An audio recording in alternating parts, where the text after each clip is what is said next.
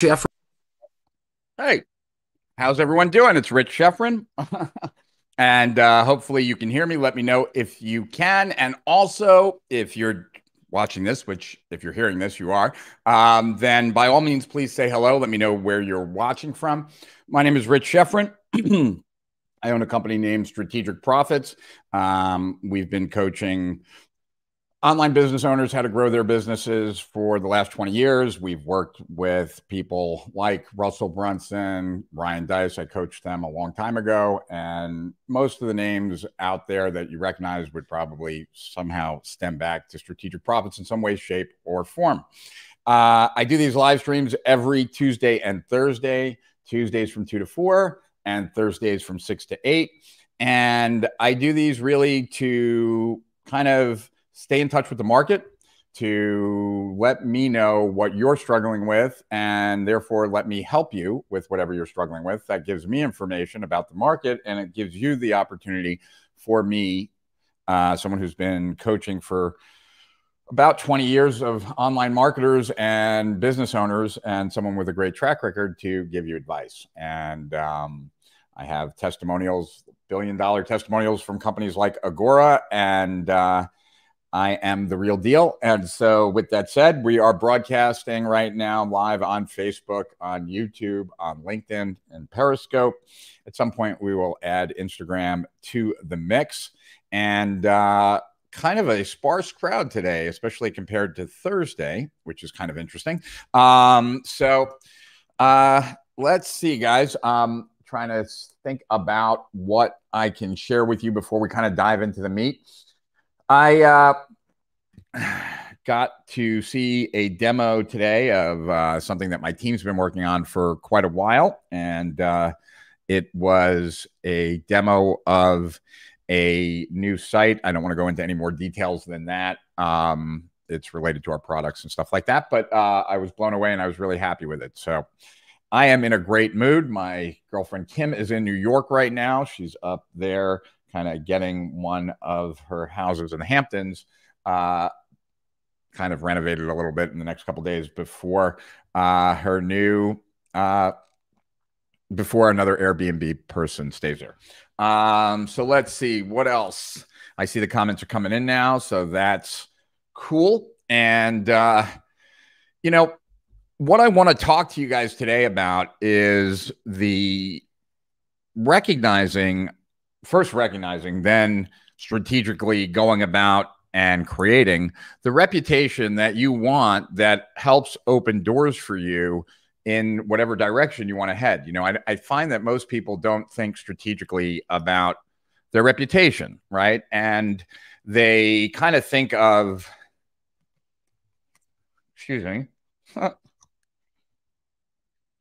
they think of reputation and personal branding as kind of the same thing, and they're totally different. Uh, personal branding is the what you project out into the world.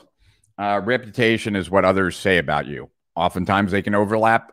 Sometimes they can even be identical, but they can often also be pretty far apart. And uh, you know, I uh, I've taught I've taught stuff in the past, especially since I've had so many guru clients that I've helped kind of position that part of the transition from being an expert to being a guru is that more often than not, an expert is paid for what they do. Um, that's what kind of sets the price point. For a guru, for a person that has built a brand around themselves and their skill set and what they bring to the table, um, they are now no longer paid for what they do, they're paid for who they are. And so that is one of the biggest kind of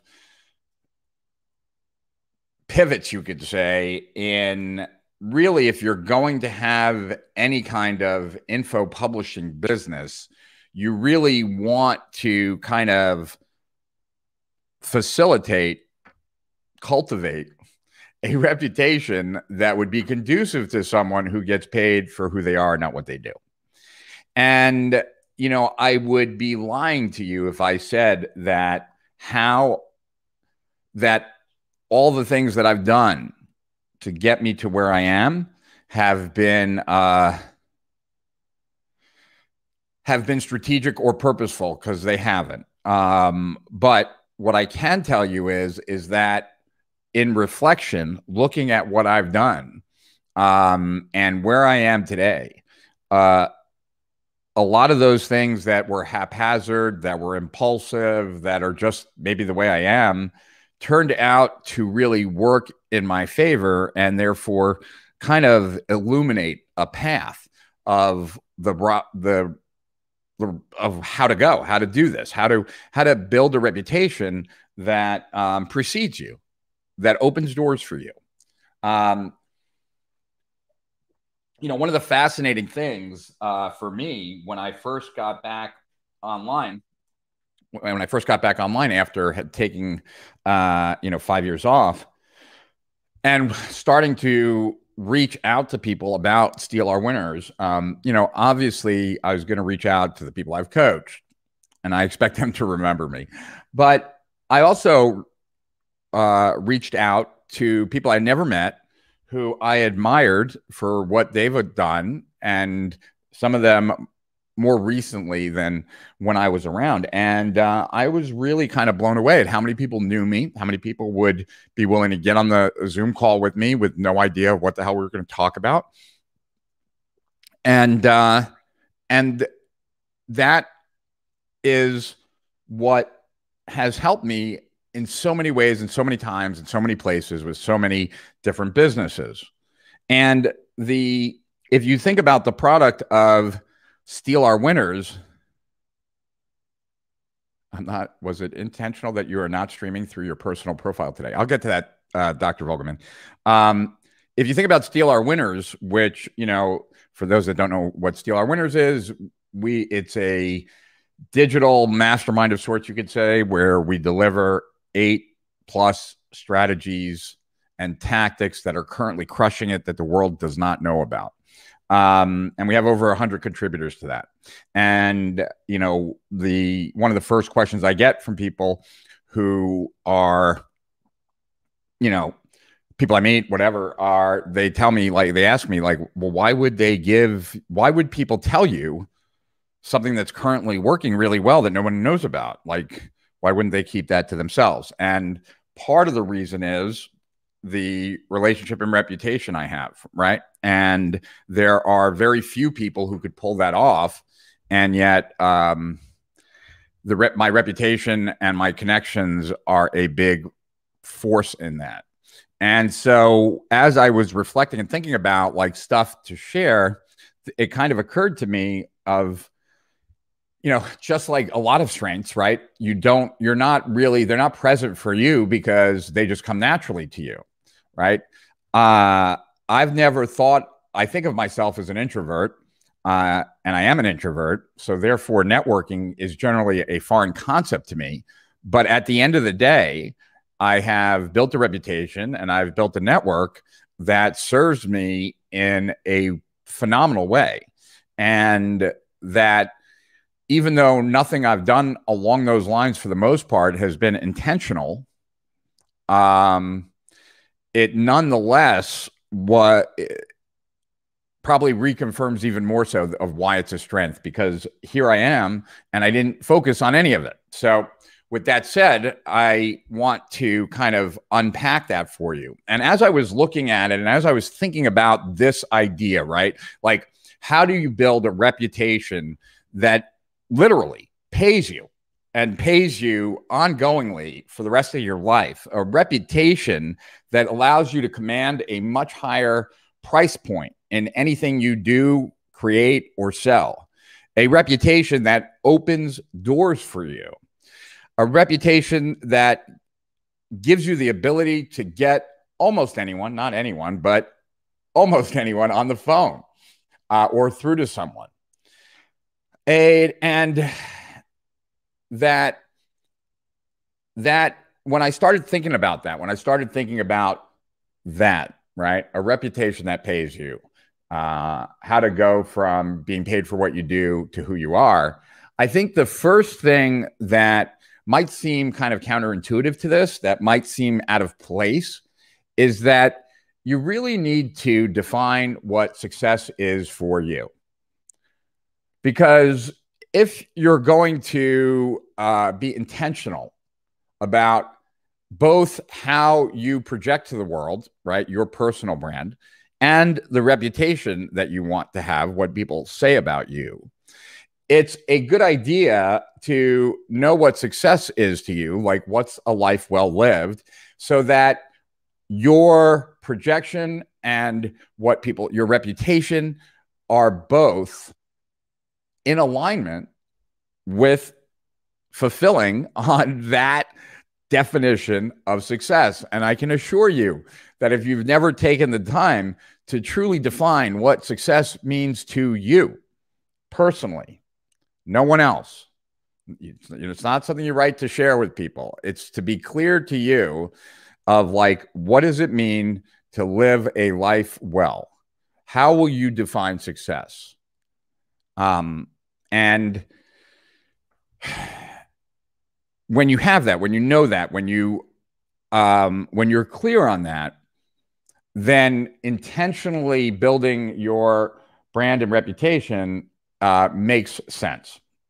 And uh, you know there are there's a, a famous line or statement that came from a I believe the writer is Banksy. Um, or movie or I don't know, but I've heard the line. And so I found it before we went live today. And here's the quote I mean, comma, right? Like it actually says that. I mean, they say you die twice. One time when you stop breathing, and a second time a bit later on when somebody says your name for the last time. And uh, I would say when someone says your name with positive regard for the last time, right? Um, so there's the time that you die, and then there's the time where your impact has died. You could kind of think of it that way. And uh, and I like that as just a quote, not as a definition of success or anything like that, but as a quote, as a way of thinking about life. That there are people like I once heard. I'm not a religious person, as many of you know, even though I was uh, I went to yeshiva as a child. Um, but the like one person who I once was speaking to, and I'm going to butcher this, so I apologize in advance for butchering this because it was so eloquent the way that it was said to me, and I'm not going to convey it eloquently at all, but the gist of it, what, what I can convey is the gist, though. The gist of it was is that you know, uh, basically, heaven and hell. Another way, metaphorically, of looking at that is how you are perceived in the lives of others. Um, so if people want to hold on to thoughts of you in a positive regard, that's heaven. If people hold you in negative regard, then that's hell. And I'm talking about after you pass, right? Um, and I know people who thought they had figured things out, like their life really mattered. And when they passed away, uh, it was so clear to everyone, never them, that their life really did not matter as much as they thought. That life went on in every which way, that the person was hardly missed. So I think thinking about that and what's your definition of success, right, is uh, critical to this whole thing. Because if you're going to build, you know, this transcends just business. This is you in every facet. And I really truly believe that if you aren't, if you, you can certainly live your life as a good person. I think everyone should. And, but if you have ambition and you want to get to a certain place in life, and you recognize that especially nowadays but it always was the case that your reputation precedes you nowadays it's just easier to find and therefore more like out in front.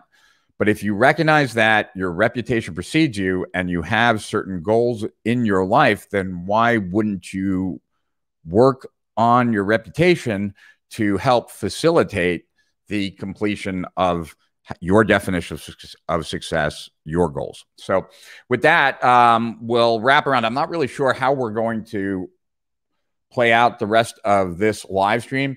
I've got some notes that I could refer to. Um, I also have recorded videos in the past about this. So I'm tempted to start one of those videos, which, you know, were more, much more thought out than when I hop on these live streams. Um, for most of the live streams, you know, I'll give some thought to it beforehand, but I, I don't, when I say some thought, I'm talking about like 15 minutes, 30 minutes in my journal from time to time. But, you know, I'm not focused on like many hours of prep for this. So, whereas like what I would share would be. So, Stephen is on YouTube. Hey, my man. Uh, Daryl is in Florida. Good to see you, Daryl.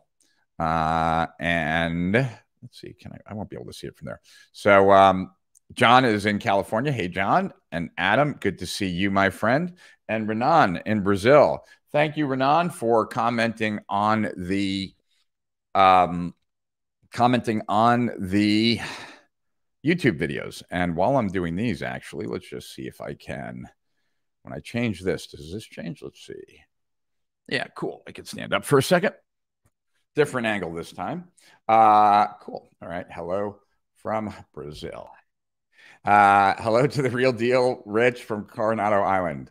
Hey, Dr. Vogelman. Uh, happy days are here again. Nairobi, Kenya. Nice, Stephen. Uh, hey, Rich, tuning in from Huntington Beach, California. Hey, Peter.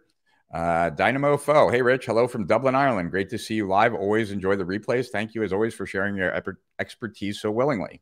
My pleasure, Dynamo Foe. And I can tell you that I've been consuming a lot of Irish material currently because Conor McGregor is my favorite fighter.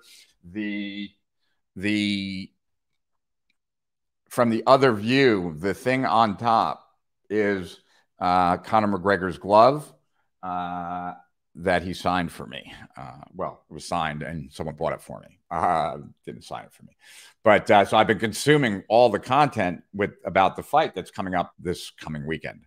Was it intentional that you are not streaming through your personal profile today?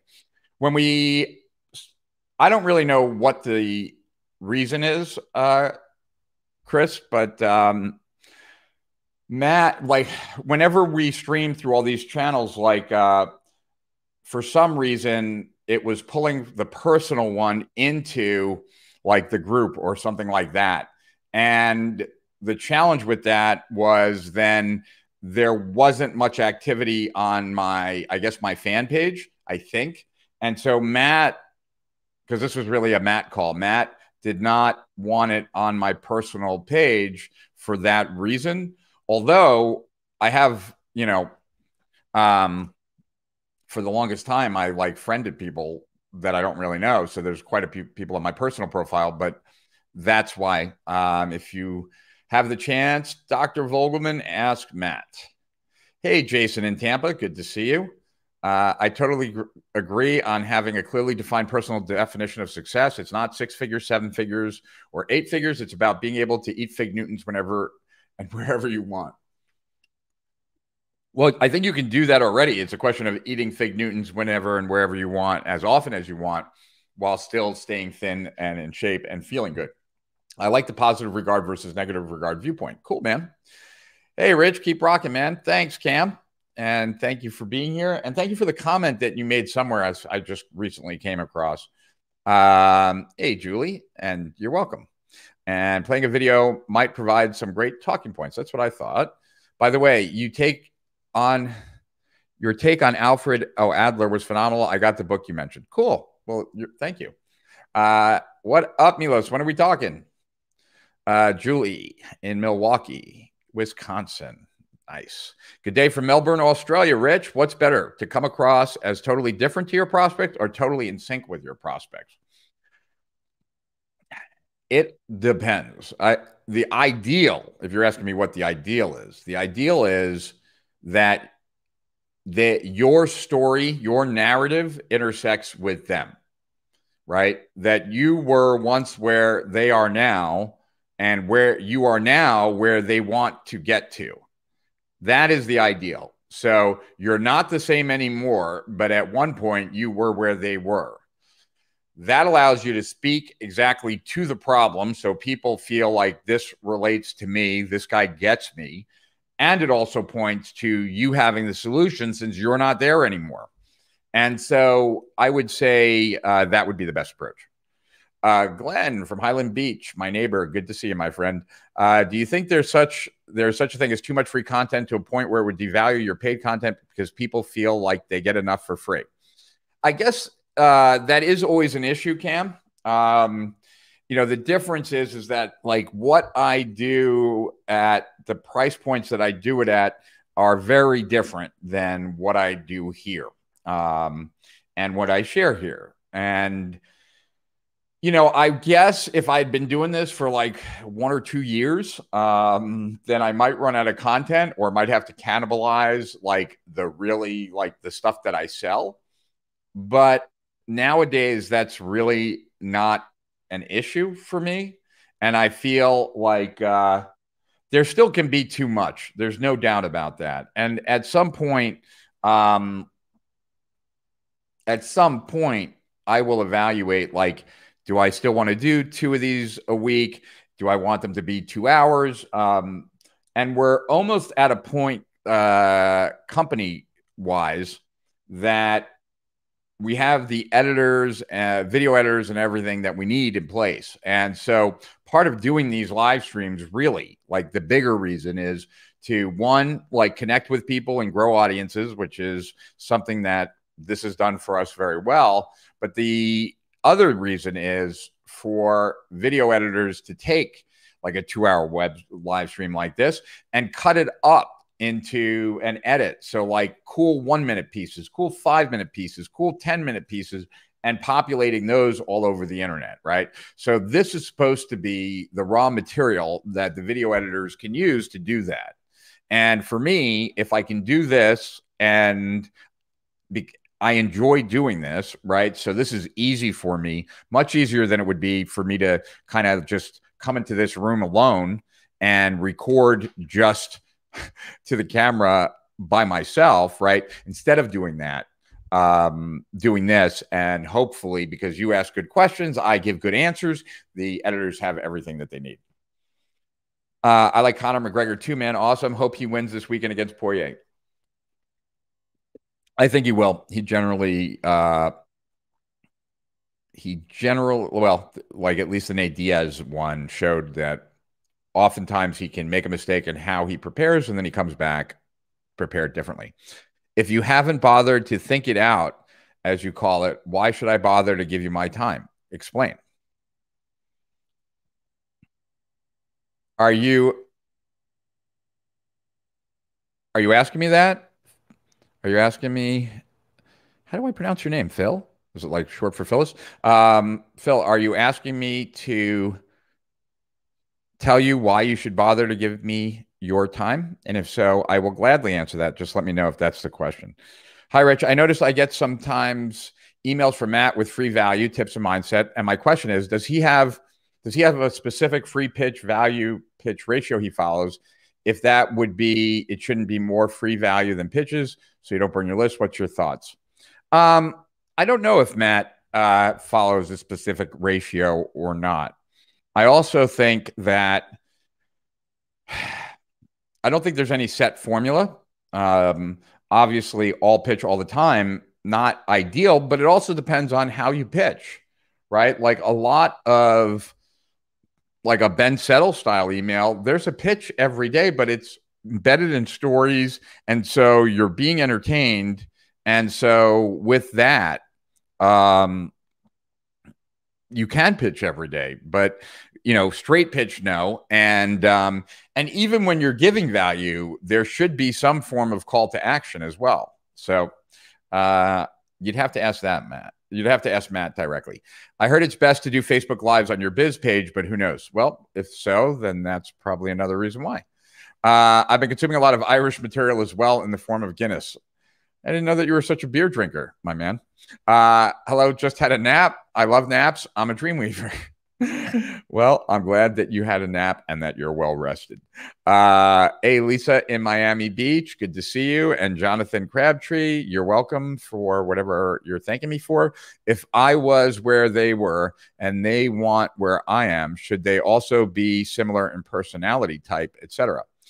Well, should they be is really not the best question to ask.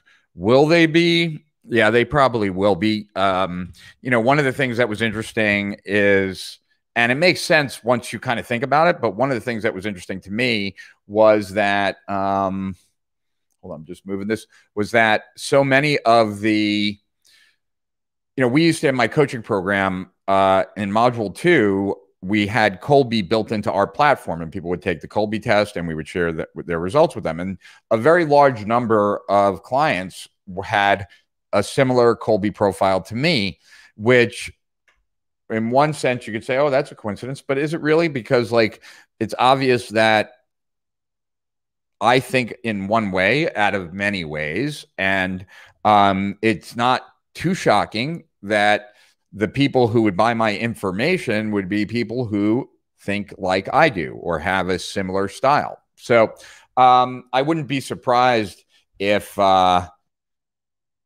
it, eh, Pat, if it was um, if people had kind of similar personalities, but personality might be too general. Um, maybe thinking style, maybe ways of communicating, stuff like that.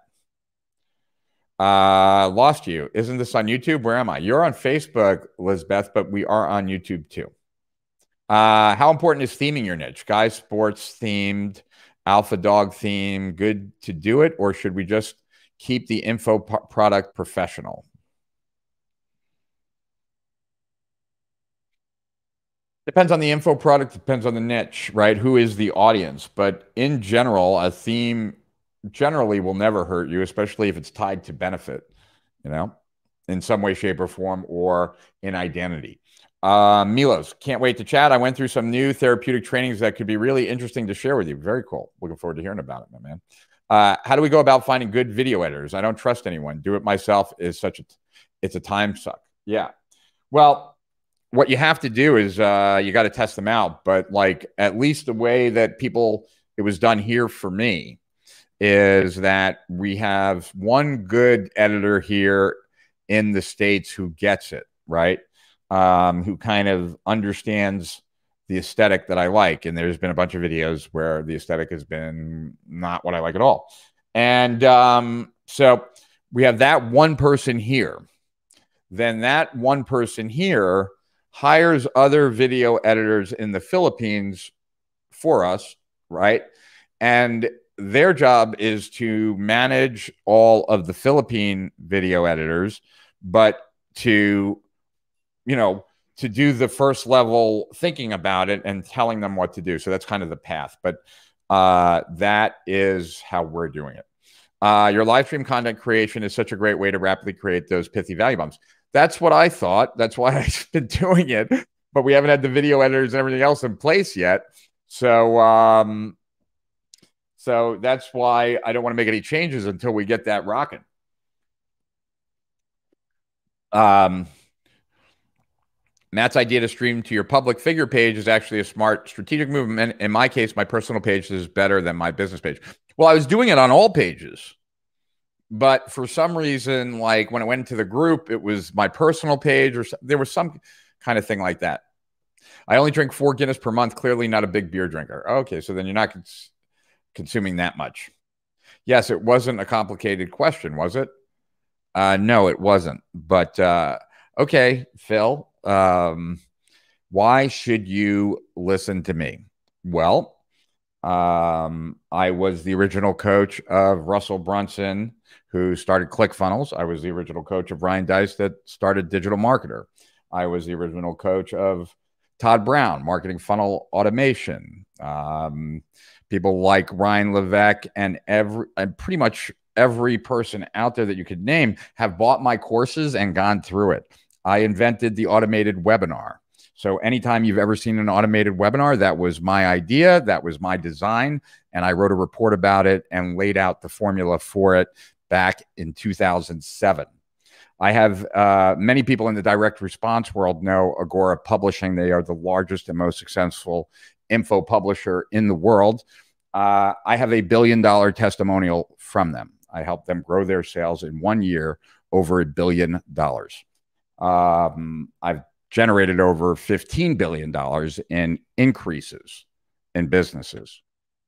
I was the first online business coach that ever existed. I wrote a report called the Internet Business Manifesto that went viral um, and was downloaded over 2 million times in the first couple of years.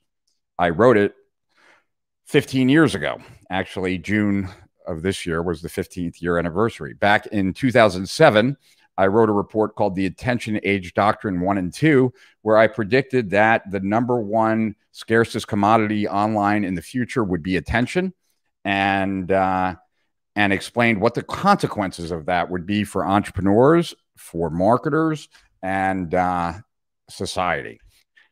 In three months later, I wrote the Attention Age Doctrine 2, which talked about uh, that I figured out where people's attention was going to go. It was going to go to this new thing called social media. You have to remember that this is pre Facebook, this is pre all that, right? This is when Google still uh, there was still Google video, uh, like they had bought YouTube, but they still were competing with themselves.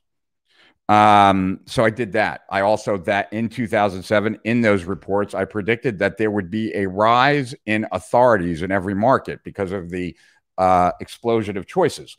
So then the next report I wrote was with Jay Abraham. The two of us wrote it together, and it was all about how to become an authority in your market. We created the first How to Be an Authority in your market course. And it was me, Jay Abraham, and Gary Vaynerchuk. And, uh, you know, Jay and I have been behind more personalities, him offline, me online, than any two people on the planet. And so I wrote the Maven Manifesto. So that's just a little bit of what I've done and a little bit of the reason why you should listen to me. But I'll give you another. I have a product called Steal Our Winners. Steal Our Winners is a kind of like a virtual mastermind where we deliver each and every month eight plus or you know eight or more uh, strategies and tactics that are currently crushing it online that the world does not know about yet. Now, why is it important that the world doesn't know about it yet? Because things work best when the least number of people know about it. Uh, as more people use it, the the results go down. So these are things that are not in courses or anything like that. Because of that, we have over 120 contributors now. I end up talking to the best of the best each and every month about what's new, what's working. And so I am the most plugged in person online. That is why you should listen to me. And if and I would stack my past and my results and what I've done online with almost anyone. No, with anyone that is hireable for advice. How about that? So, generally, uh, Phil, I am not someone who likes to kind of toot their horn, but you asked, and that's my answer. And I don't think very many people stack up. Hey, Rich, thanks for these calls. I'm still finding it hard to choose between a job or a business, thinking that I'm losing my desire for starting a business if I don't start now and an idea for a business in which industry, since I have many ideas all the time, how can I narrow it? Well, so there are many ways to narrow it, but the, but you know, there's there's a very big difference, obviously, between starting a business and having a job. Um, if you're not sure, what I would suggest is potentially get a job in one of the businesses in the type of business that you'd most like to start. When I left the music and fashion business, and you know, I took a year off, then I had decided I wanted to open up a hypnosis center. When I decided to open up a hypnosis center, knowing that I knew nothing of running a hypnosis center or any medical office or anything, I found the only person that had a hypnosis clinic at that time like not a hypnotist, but a hypnosis clinic with multiple hypnotists. It was Patrick Porter in Virginia Beach.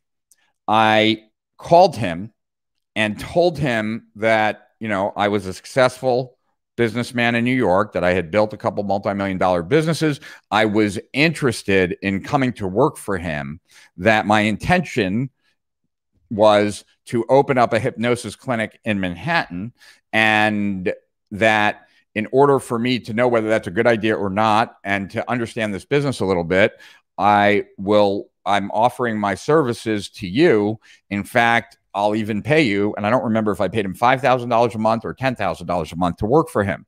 I'm not suggesting that you do that, but what I can tell you is the reason that I was able to build that hypnosis business into a $13.5 million business in under four years was because I learned 10 years worth of knowledge for the three months that I lived in Virginia Beach and worked in his offices. All right. So, um, so one of the ways uh, to understand the business is get a job in that kind of business. The other, though, is to see if you like the business, right? To see if this is your cup of tea. I mean, apparently, if there's some reason you can't decide right now, there are some question marks. All those question marks can be answered by working for someone else in that same type of business.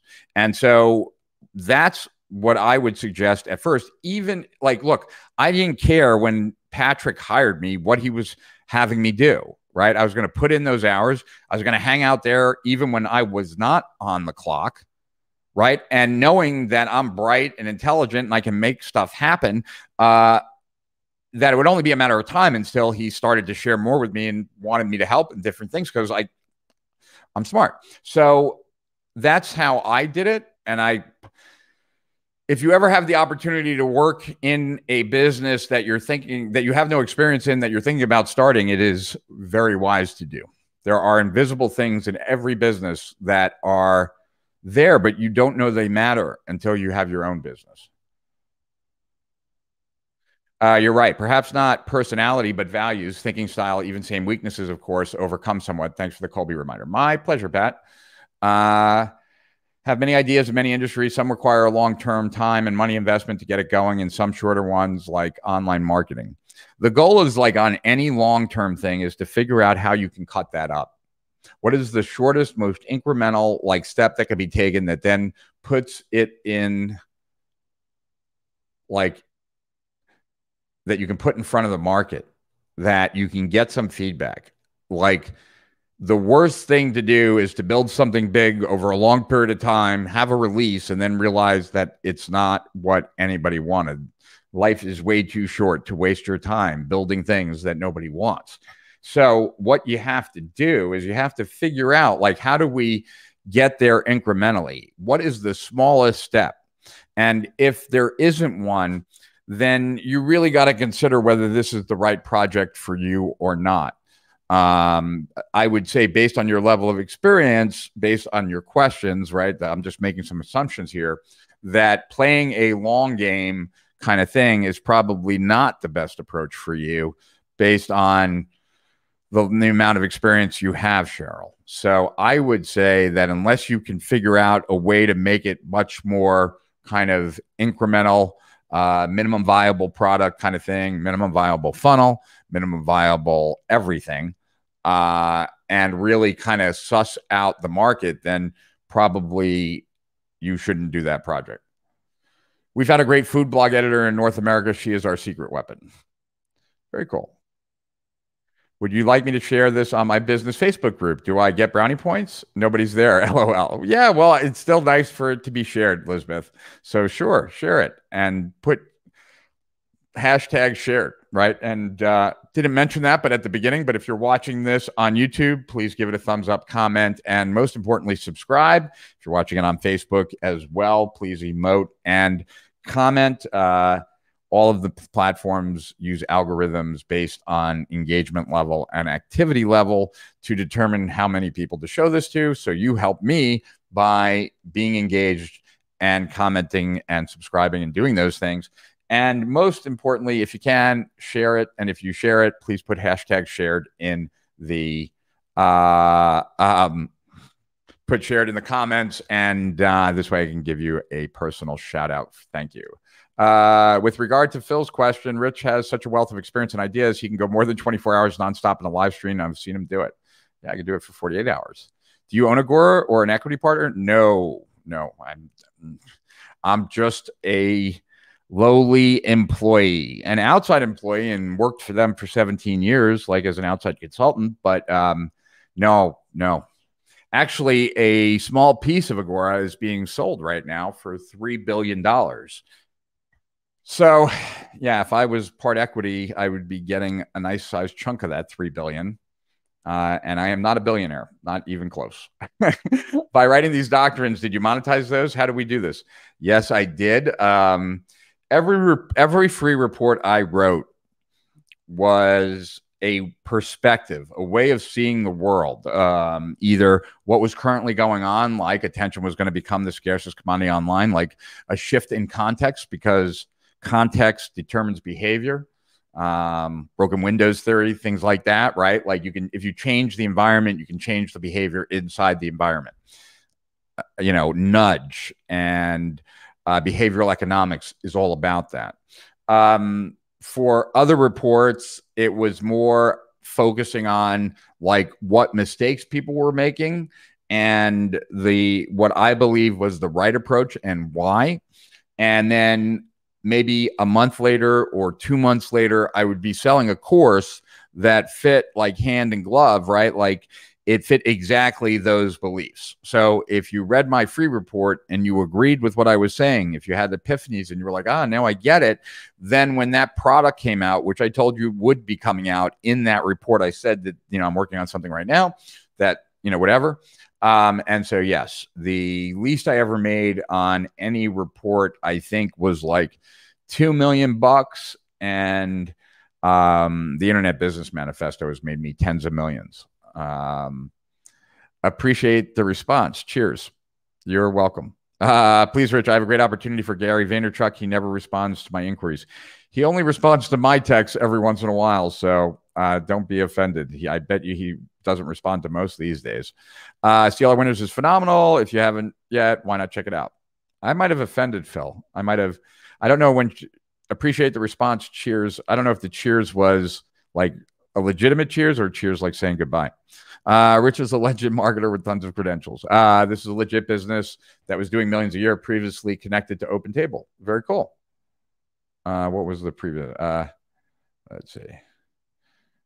All right. Well, uh, the summary will definitely give your video editor something good to work with. yeah. Uh, I think the real difficult question is why should someone not listen to Rich Schefren? LOL. Thanks, man. What was your background in hypnosis? Um, well, so what happened was is that I had decided that the music and fashion business really wasn't for me. So I got out of that, took like a year off. Might have been longer, like I just was taking time off. And uh, read an article in Time Out magazine about this hypnotist in New York. She still operates there. Her name is Julie Flanders. And uh, there's an article about her. And I had never been hypnotized. And so I wanted to try this because I'm a curious person by nature. And uh, I went and got hypnotized, and I happen to be highly hypnotizable. And because I'm highly hypnotizable, I had a profound experience. And so then I kept going back. And then at some point, um, I got so fascinated by it, I decided this is going to be my next business. And so then I started studying hypnosis. I started taking hypnosis classes. I studied NLP first with Doug O'Brien and John Bandler. I mean, John La Valle, then a little bit with Richard Bandler. Then I also worked with another bunch of other gentlemen like Kenrick Cleveland and uh, etc. And so I took a lot of trainings in hypnosis from like Jerry Kein and uh, George Bien and um, thinking of who else, probably a bunch more that I've forgotten at this point. I apologize for anyone that I have forgotten. Um, and then I opened up uh, at that time a hypnosis center with my girlfriend at the time. And um, it was just me and her. I did all the hypnosis in the beginning. I did all, it was hypnotherapy and um, got certified, all that stuff. And uh, very quickly realized that I was never going to be the world's best hypnotist. So recognized that my strength is my business ability and my marketing ability. And so quickly kind of removed myself from the hypnosis role, started hiring hypnotists. Then we created a training school for hypnotists, et cetera. But um, that's my background. And built the single largest privately owned hypnosis facility. We had 60 full time hypnotists on staff. Um, had tens of thousands of clients, had offices in Manhattan, Brooklyn, and Queens. And uh, yeah, it was cool. And we ran full page ads in the daily news, far front, Monday, Tuesday, Wednesday, Thursday, Friday, Sunday. Wait, Rich was a singer or a fashion fashionist? I was a I my store created lots of trends. So you could say on the fashion side, yes. Like we were the first store to bring diesel into the United States. Um, Dolce and Gabbana shopped at the store all the time. I knew them. Giorgio Armani shopped at the store. Calvin Klein shopped at the store. Um, the designers for Diesel shopped at the store. If you worked for the company Diesel, Renzo Rosso, who is the owner of Diesel, made it. If you if you flew into the United States, you had to stop at our store because it was our his favorite store in the world. In fact, my manager became president of retailing for Diesel. And um, so the store was like no other store in the world. And I've actually played videos of the store during some of these live streams. Uh, I was not a singer, but um, the we I built a recording studio in the middle of the store, um, an electronic music recording studio that turned out to be one of the best. Like we bought every old piece of equipment that you could, and uh, then pretty much anybody who was anybody at that time in electronic music that was in the city would stop by and record stuff, and um, so we had a techno music label, and then that went uh, worldwide, and that was when electronic music was really in. And then that was very much tied into the store because the store catered to like the club and lounge life. And um, then when I decided to exit the clothing business, I also exited the music business. And uh, so I did like I would say that I was actively engaged in the world of fashion for a while, uh, but uh, but um, not not a singer.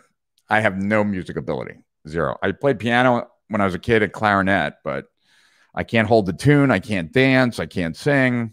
I am a triple not threat. uh, I believe in being generous. I share what I feel is good content in whatever field. Well, that's good, but you know your audience probably is not as interested in all of those things as you are and um, you know that can backfire that can backfire gotta be careful with that should i write for agora copywriters for agora can make millions of dollars a year in royalties I guess I missed the 48 hour marathon. No, I've gone 48 hours. I never did the 48 hour live stream. I still want to do it. And I wanted to do a 50 hour live stream this past March 13th when it was my birthday, my 50th birthday. So maybe now I'll have to wait till next March 13th and I'll do a 51 hour live stream. I don't know. Uh, Phil Rich is the real deal. Uh, he may not be as famous because I classify him as an intellectual marketer, and for whatever reason, intellectuality impedes popularity. I highly recommend reading his free notes on his Facebook page. Thank you, Usama. Uh, I just started a new company in the middle of Hop, hoping to launch soon. We're focusing on helping others become entrepreneurs. It is something I've done all my life. That said, this is my first online only biz. I am having trouble deciding between doing a webinar or a challenge to start. Challenges seem like a lot more work. Your opinion? Um, challenges are a lot more work, but they're also much more effective right now than a webinar would be. So there is that. In addition, if you wanted my advice, like specific, uh, I would say do the challenge and, and roll up your sleeves and do that extra work because, like, okay, Craig, like, even though, right, like we originated the automated webinar and people would come to me and say, I want to create an automated webinar. I would say to them, well, first you just got to do a webinar. And because you're not going to go through the trouble of automating something until you know it works. So just do a webinar and record it and we'll see how it goes. So it's not as easy as you just record a webinar and you're done. If you think that, odds are is if you want to have a highly dialed in webinar, you're going to have to do it multiple times. You're going to have to do it, look at the transcript, tighten things up, look, have others' opinions. Like, unless you happen to be naturally gifted as a salesperson, that's totally different. But there are very few people who just can do a webinar and be done. It takes some significant tweaking if you really want to dial it up, and you probably will. Have to. Um, challenges, and that assumes that you understand your market, you know what turns them on, you get everything, right? Um, whereas with a challenge, because it requires that like face to face, even though it's online, uh, it's really putting you in touch with your market. And, you know, I tell people this all the time, and I think they get it, but uh, if the single greatest um, advantage that a coach, well, I'd say the single greatest advantage that a marketer can have is coaching the same people that he's trying to market to or she, right? As a coach, in order to maximize the help that I can give someone, I can only help the person as much as they are open to sharing, right? So, in order for me to give the maximum help, people have to be pretty open and transparent with me. If they're paying me to coach them, I don't know why they wouldn't, right? So, when you know, when you read your standard marketing book and your standard marketing book says what keeps your prospects up at night, the average person can't answer that. If you're a coach and you're coaching the people that are you're going after and you can't answer what keeps your prospects awake at night, then I don't know what kind of coaching you're doing. And I, I don't even know if you should call yourself a coach. So, from that standpoint, I think doing the challenge will give you a taste of that back and forth. It's people aren't going to get as open and real with you because it'll be a little bit more public, maybe, but you're still going to get insights that you will not have unless you actually um, get belly to belly online. And look, man, like Craig, like even to this day, when we do a promotion, uh, we were just doing an after analysis on when we did. Like one of the things that I've always done in my past, we'll probably do it for this campaign too, is contact non buyers, offer them something, and ask them to tell us why they didn't buy. Like, where did we, where did we mess up? Like, where, what were the reservations you had, or the objections you had, or, you know, why didn't, why did, wasn't this appealing? And when we do that, um, even though I'm good at what I do, even though I've been in this game for a really long time, even though I've helped companies make a ridiculous amount of money pretty consistently there is an objection or there's an issue that never occurred to me that I thought was handled that didn't even need to really be addressed that like was significant. So my point is is that if I can still learn when interacting with my marketplace, then I would imagine you can too. And you're not going to get that learning from a webinar. You're going to get that learning from challenge. And on top of that, a challenge is easier to sell right now.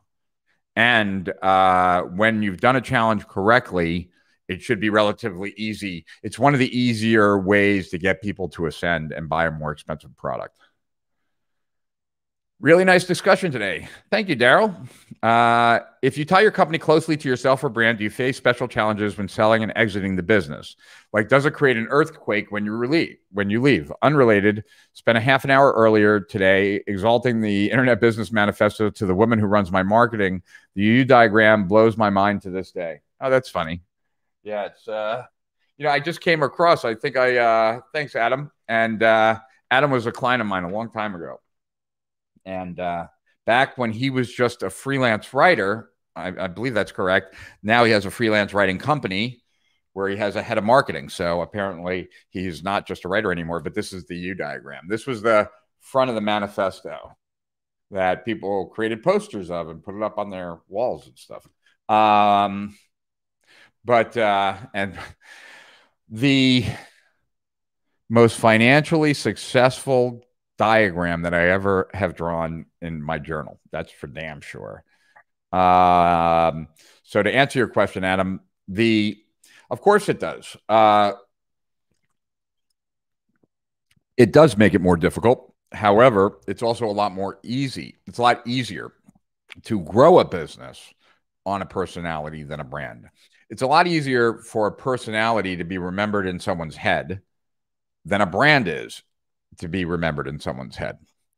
It's a lot easier to form a relationship with a person than a brand. Over time, you can with a brand, but it takes a lot of repetitions and it takes just takes a lot. And um, you know, the best of both worlds is to have many personalities in a business that therefore is not dependent on any given personality. So that's how you, if you want to grow a business the easiest way, you grow it off the back of a personality. If you want to get free of that business, you then add more personalities to that business until the primary personality is no longer the majority. So for me, uh, my goal is for strategic profits to outlive me and to and for me to recede in the bag as it grows and have Matt take more of a forward position and uh, for us to have other gurus as well. Um, you know, I've had my time in the sun and it was great and it was wonderful when like in 2006 I was really well known. Um, but if that never happened for me again, I'm that's totally okay. And uh, I just want to have a positive impact on the lives of entrepreneurs online everywhere. And I want to have a company that makes a difference in those people's lives. Whether or not I'm the focal point of that company or not is kind of irrelevant. And uh, yeah, I look forward to. I love it. Like when I when I see something that my company's done that I haven't been involved with that I really like that makes me proud or is clear there's something I could never have done myself. Um, so anyway, but yeah, the the ideal is to like optimally you build the business based off of personality that grows into a multi-personality or transitions into a brand right like clickfunnels is a brand but russell brunson was well known for a lot for the first couple years a lot more people knew russell brunson than clickfunnels so he leveraged himself for ClickFunnels, right? And I would say the same thing with uh, Ryan Deiss right? Like in the beginning, Deiss was much better known than digital marketer. These days, digital marketer is the brand, right? So you can transition to brand once you've gotten enough momentum. And then you have the best of both worlds. I would say that we never fully got there um, with strategic profits. Like my name always towered over the brand. Um, so, which is unfortunate, but whatever. Um, but this time around, I think we'll we'll get it right.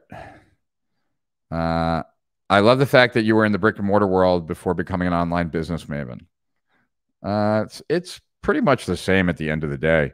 Uh, that business model is similar to what we're doing, except we were couture betting, partnering with great brands, some obscure. Cool. Uh, triple non-threat. Yes, exactly. Amen. Mary Barnett, you seem very happy in that uh, in your avatar um, with the thumbs up. Very cool. That is why my info is segmented according to interest marketing. Got it. Have you yet? To, of course, I do Facebook ads. Setting up a branded YouTube channel. We have. Oh, you've yet. Okay. Well, so got it. The webinar would take them to an upsell, such as a masterclass I have to create the content still. So thanks for answering. And I'm about to become an Amazon best-selling author, trying to tie in and align my business to the book. I know if you brand yourself to the business instead of developing the business to be sold, it makes a difference how you start out. But the book in my name and the business not in my name, will I be able to get people to tie? Yeah, you'll be able to get them to tie it all together. Um,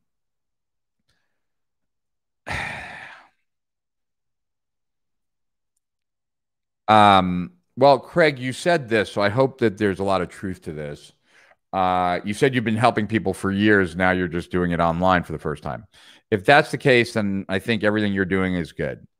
If that's not the case, then my concern is is that you probably should have just jumped in and started coaching people first because writing a book and doing these things without being clear about what people struggle with, what they value, what they'd like to hear more about, what they'd like to hear less about. Um, it's taking a chance that all these things are going to work for you. Um, it all starts with the prospect. Everything starts with the prospect. And, you know, if, uh, if you don't have that nailed, everything becomes increasingly more difficult less likely, more haphazard, and more random. If you understand what who your prospects are right? Um, then it dictates how like they need to be spoken to and what needs to be said in order to get them to move right if i'm talking to my mother and asking her to take a picture and send it to me i'm going to talk differently and i'm going to have to explain things differently than if i'm talking to my daughter why do you think it's any different when you're talking to your prospects if you don't know who they are they are different and if you don't know what that difference is, you're you're that Craig, like that's where the challenge is. Um, trying to do too much in the beginning, unless you have that experience, like I said. Uh, Rich, who could you say is the best copywriter and marketer in 2021? I don't know that you could say like there's a specific best marketer or best copywriter. There are copywriting styles that go in and out of, there are different types of like, there are different kinds of sales letters at Agora. Okay and they're like a systems letter, a secrets letter, a you know, there are these different types. I'm not a copywriter there, so you know, I'm not. I just know this from having spent a lot of time there, but um, and a certain type will come into favor, meaning that that type works incredibly well in the current environment. I learned this from Joe Schriefer. Um, so Joe was telling me that you really can't tell whether someone's really a great copywriter until that has changed, like what happens to be in favor, and that person is able to dominate uh, or do really well in a second, in a different when in a different era, not era because these periods are not like super long or anything, but when a different style is best. Because like one time I was asking Joe about Evaldo, and um, I was like, you know, is Evaldo like that like Evaldo is one of the best copywriters at Agora. So we were talking about him. Evaldo's a friend of mine as well. And um, I was saying, like, how great of a copywriter is there in comparison to other people? And he's like, well, you, I can't really tell you that yet. As far as being able to write this type of promo, he's probably the best. But there have been many times where there have been people like this at Agora. And then when the trend changes, they're not able to do anywhere near as well when they write those kinds of promos. So that so that like because of that, it's really hard, right? Then I'd also say like on the marketing front, um, there are people that are really really good at selling people what it is that they want. Um, then there are people who are really good at selling people to things selling people things that up until they interacted with that marketing, they didn't think they wanted. So I would say, like for me personally, I am, I don't know that I'm the best because I don't even know who else does it these days, but I was certainly one of the best, and certainly still, I think I'm one of the best at be at being able to market something that the prospect does not believe they want, right? Like when I wrote the Internet Business Manifesto, nobody wanted business coaching. That was why I was the only online business coach. When I wrote uh, the entrepreneurial emergency in 2008 and introduced the internet marketing community to theory of constraints back in 2008, 13 years ago, nobody knew anything about theory of constraints. It came from manufacturing. They probably didn't want to know it, but I got you know thousands of people to spend 2000 bucks to learn theory of constraints right so I think I'm one of the best marketers at being able to sell things that people inherently don't think they want, but I will make a connection to, I will be able to channel their desire into demand for the product.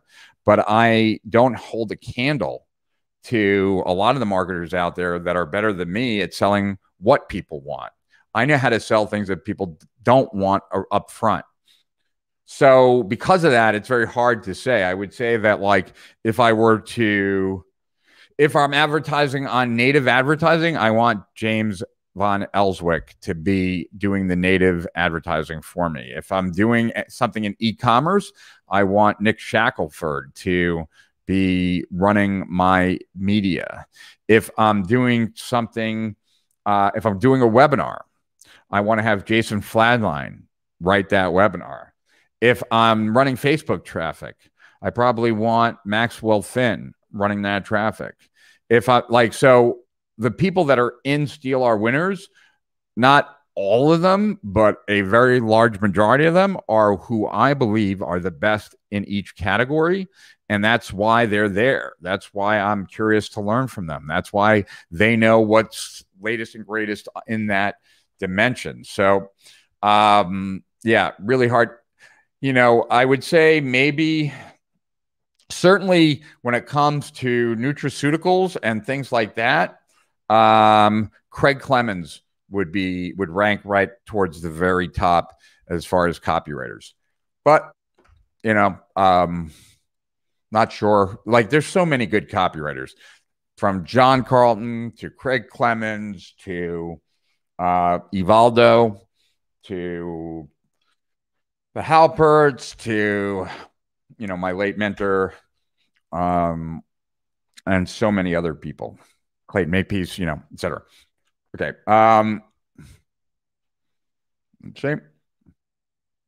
Good call on the coaching answer. Thank you. You're welcome, Craig. Uh, what keeps them up at night? Exactly. How is the coming of Strategic Profits of Brazil, Rich? Haven't heard of it yet. Made no progress.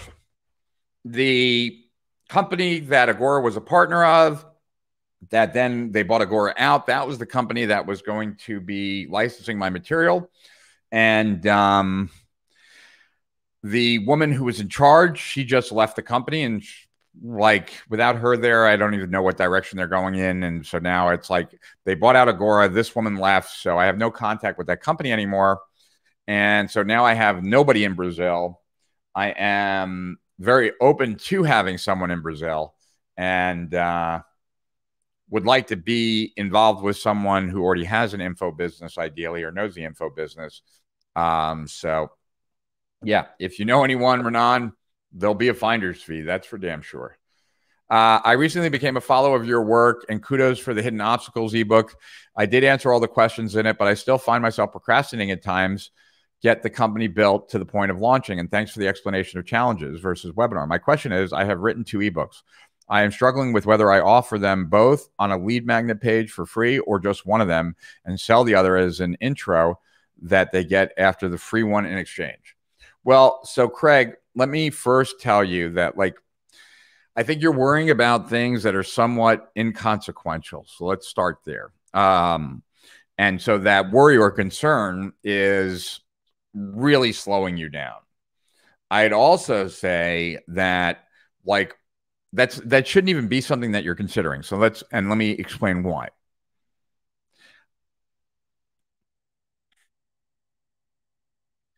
if someone is not interested in one ebook, they're not going to be interested in two ebooks. So there's really no reason to offer two on the front page unless they're on very different fields in very different areas. But then even that makes less sense. So I would say that ideally you're just offering one. But let me take a step back from there. And I never, I never liked the statement fail fast because I don't like failing. Like failing to me is uh, transcends like the moment. Um, but I have no problem with doing things incorrectly at first or doing things wrong fast because I can then change it. You really, Craig, need to recognize that this is an iterative process. Just like you know there was this great book craig and i'm sure i even mentioned it in that report i would imagine uh, called little bets.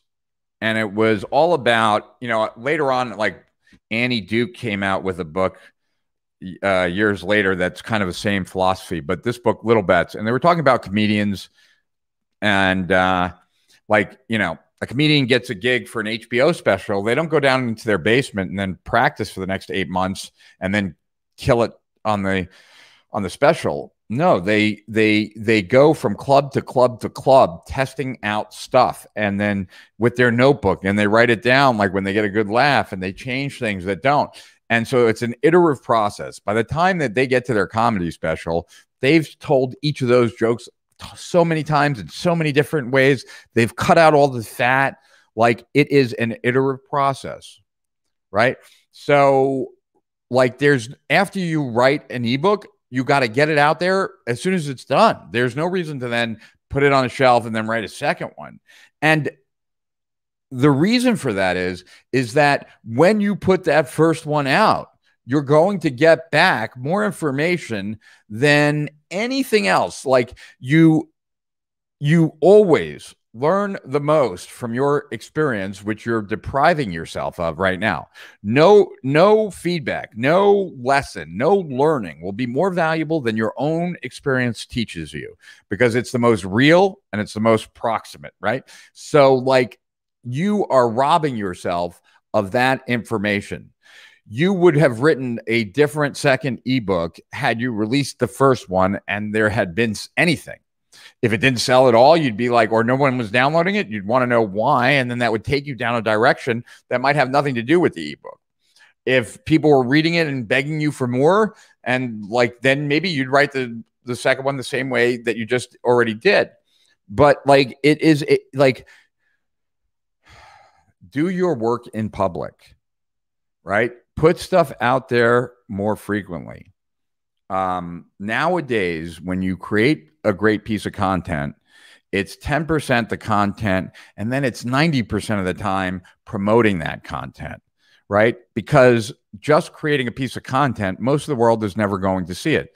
Because most of the world is never going to see it, you don't have to stress about doing your work in public. It's hard enough to get people's attention. So don't be concerned that when you're not even trying really hard to get people's attention, all of a sudden everyone's going to come to a conclusion about you. You're not that important you're not the center of their attention. They will forget about you the minute they click off the page. So you must like like you got to like transcend that. And this is online. So there's all you can like I'm an introvert. I like put me in a room like I'm I'm shy. Like I don't even like walking over to someone I don't know and introducing myself. But this is online. Like I'm completely safe here, protected in my little room here. And so you have nothing like you guys right now could hate me. You could be all throwing tomatoes at your computer screen or cursing me, and I would have no idea and I, I wouldn't know. And if you wrote horrible things, and please don't, but if you did, right, like that would be there. But like, who's reading that and how often? And like, what's the big deal? So, I think you just got to get over this concern about possibly making a mistake or something to that effect, or that you don't know enough or something else. You got to get out there. You learn by doing these days. Action creates clarity. And like there is no you th- there are no 5-year plans that don't change anymore. This is not like the world that we live in today. The world is accelerating. It is more uncertain than ever before. And the only thing that you can bank on is that you will always learn from your experience. It's win or learn, as Conor McGregor's coach, John Kavanagh, book title is win or learn, win or learn, right? Uh, great stuff. Makes lots of sense. Thanks, Adam. Uh, I have a Podometic, a Podometic as a brand. I don't even know what that means. Better than arithmetic. Okay. Oh, I remember. Okay. My name. I think uh, my name awareness has to come first. That made me think rich. Cool. Uh, Giancarlo is AI. I just uh, changed my chat name because of you, Rich. Cool. uh, hey, Rich, you seem like you are great at making connections. Well, I am great at making connections, as was pointed out to me by my team, from a standpoint that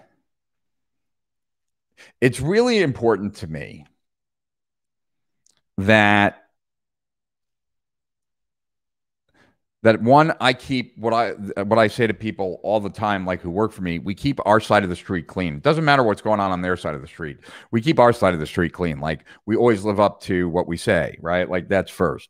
But also like it is my deepest desire that based on what I said at the beginning of this live stream, right, about your two deaths, that anyone and everyone that I come into contact with is better off because they've come into contact with me. And no one is worse off. Now, no one can live up to that 100%, um, but that's my goal. So, like, for example, even today, um, we let someone go the other day and not anyone that people would know. So no need for me to mention the person's name. And Matt was saying, like, you know, it just wasn't right for what the position was with this person, but we might want to hire him back at some point, whatever. And I was like, oh, okay. Well, I'm like, can I help him? Like, do we need to help him? Like, can I, does he need, does he need me to get him another job? Does he need me to, like, and why would I do that? Because that person came into my world and I want anyone who comes into my world to leave feeling better off that they came into my world. Um, and so that's one. And I always try and think of like how to make things a win win. And I think probably to a fault, right? And some of that has to do with my dad, right? You know, one of the very last conversations I had with him before he passed away was him telling me that, like, you know, when he looks at me, he recognizes that he, like, he didn't understand me because he's like, for me, like him, right? For me, when I'm sitting across from someone, I'm trying to figure out how to get all the money that's in their pocket into my pocket. But I get the sense that that's not the way you operate or the way you think. That's my dad, right? Um, and I'm like, yeah, it's not at all. Like that's not what I'm thinking about. And um, so, you know, we have these things, right, where we don't want to be like, like I'm not going to be like mom. I'm not going to be like dad. Like I have that to a fault. I don't want to be like dad. Dad took advantage of a lot of people, in my opinion um, and made some people a lot worse off, I would think, but whatever. Uh, so it's that. So I think that I am given a chance, I make a great connection, but uh, but people have to be willing. And at this point, now my reputation precedes me, so it makes it a lot easier. Um, but you know, one of the things I tell contributors of Steal Our Winners when I talk, you know, every time is like, especially new ones, is like I want you to understand that I'm a resource for you, that no matter what challenge you have in your business, no matter what obstacle, no matter what issue, no matter what opportunity, if there's anything you need, if you tell me about it, by the time we talk next, I will have answers for you because I talk to way too many people and way too many people give me way too much insight into what's currently going on that it's if I ask a question on your behalf, I will get an answer. I will find the right person and I will have that person for you. And one of the things, April, that I know I've mentioned on some of these live streams, but it's one of my favorite things to do. And I don't do it like with even the intention of my own profit, but it happens anyway. Like, okay, so I have as I was saying earlier, like about I mentioned James Van Elswyk when it comes to native media, native advertising. Okay. So James is a close friend of mine. But before James was a close friend of mine, I was a fan of James. And when I met James, like I knew how good he was. I had watched his presentations, I had read some of his stuff, etc. So like the first thing I wanted to do was bring him into Agora. So now I I brought him into Agora, right? And he's super thankful because now he's making hundreds of thousands, if not millions of dollars extra because of it. And Agora is thankful to me because finally they got someone really, really good for native. Right. So I win in but like both James feels like he owes me a favor and Agora feels like he owes me a favor. I've put James in touch with a bunch of people. My friend David, right? My friend Michael. And Michael calls me and thanks me. David calls me and thanks me. James calls me both times and thanks me.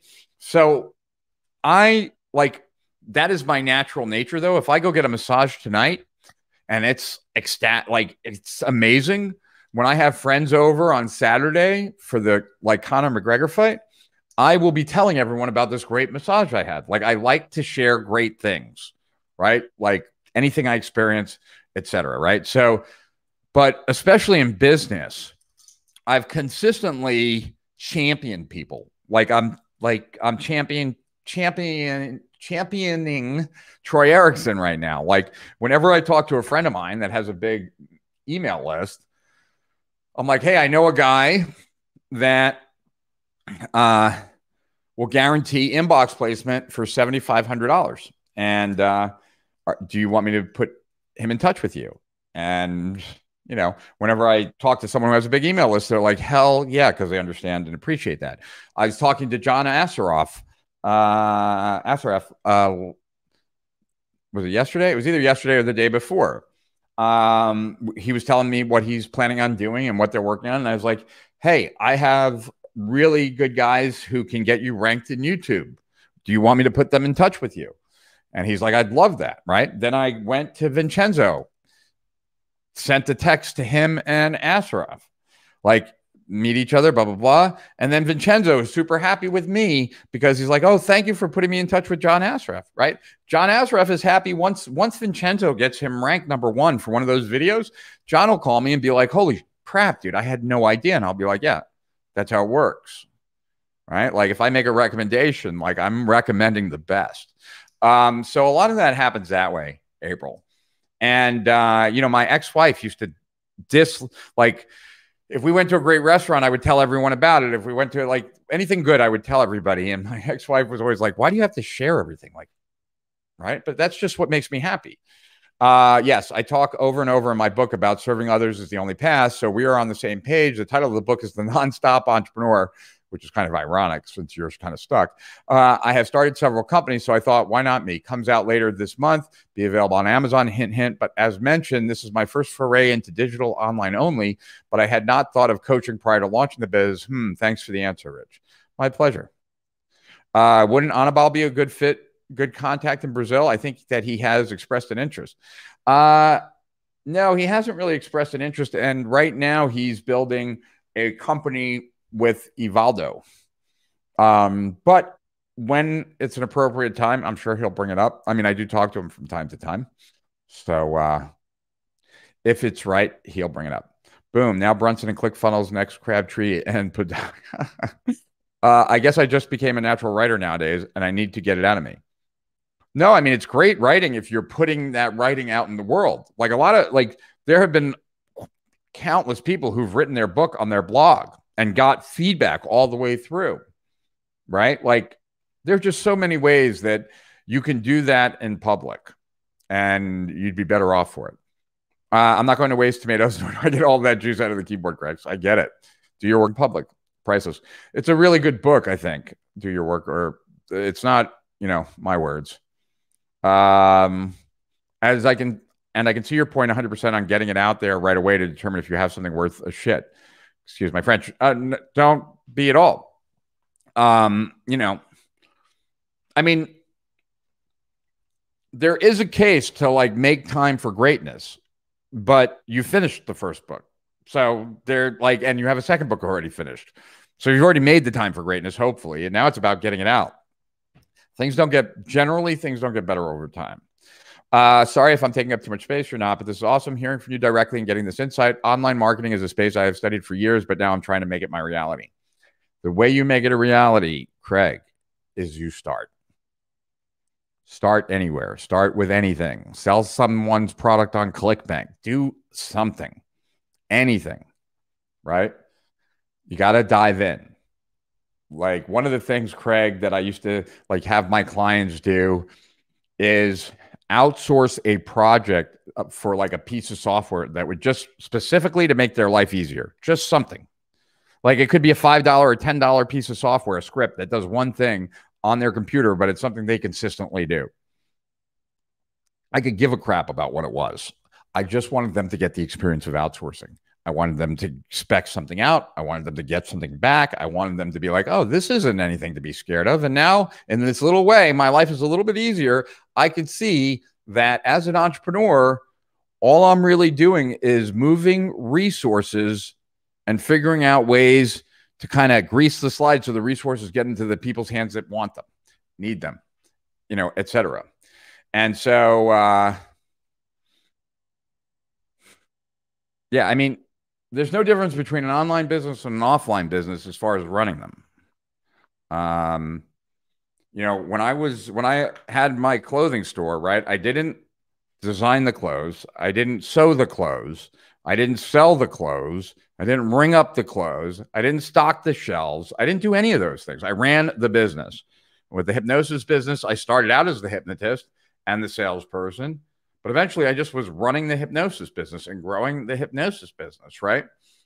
I do not like we've used Infusionsoft at Strategic Profits since 2006. I have I do not know how to send an email, never have. In the 15 years that we've owned uh we've used Infusion. I don't know how to don't know how to send an email. I don't know how to create a page on ClickFunnels. I don't know any of those things. When I started, I used Front Page, used Autoresponder Plus. I mean, you know, I used Aweber and one shopping cart was a client of mine. But like I never learned any of the things that because that's not how the business at the end of the day makes money. Now, you might have to do those things in the beginning, but understand that business is business. Uh do you think the term business consultant versus business coach is out of sync with today's lingo? I think they're, you know, it depends on the market, right? I mean, nowadays there's coaches, coach coaches, coach coaches, right? Um, everybody and their brother wants to be a coach. Um, but consultant, you know, uh, I I consider myself a coach because I tend to work with entrepreneurs. Um, when I've done like the teaching for Google or Yahoo or Microsoft or my work with Agora, that's more of a consulting gig. I'm not really coaching. Um, so it who you are speaks louder than you, who you say you are, right? Uh, who did Jay Abraham and Dan Kennedy learn from? Uh, well, Jay originally, his first download, so to speak, was from uh, Dan Rosenthal. And uh, Dan Rosenthal also owned the ad agency that Gary Bencivenga started at. Uh, he also owned the agency that Clayton Makepeace got his experience. At. Rosenthal influenced Jay Abraham, influenced Clayton Makepeace, influenced Gary Bencivenga. Um, Jay Abraham influenced Mark Ford and Bill Bonner, much more Mark Ford, but Mark Ford is what who brought all of Jay's stuff to Agora. Um, so it all starts with Dan Rosenthal, and um, I don't know who precedes him. Uh, Dan Kennedy, when he was a teenager, worked at Halbert's, which was a direct mail house. Gary's coat of arms letter was working at that time. And so they had people opening envelopes with money in it 24 7, three shifts. Um, and, uh, but I don't know where Kennedy really learned copywriting from whether he was self-taught or not. But he he has a book, and I never read it, and I really should. I have it. My unfinished business, which is which is his biography or autobiography. Does Agora still offer affiliate relationships? Yes, they do. Uh, you are so great, bro. Thank you so much. Oh, my pleasure. Uh, which begs the question: Do you offer affiliate relationships? Hell yeah, we do, and we love our affiliates. Uh, love that super connector.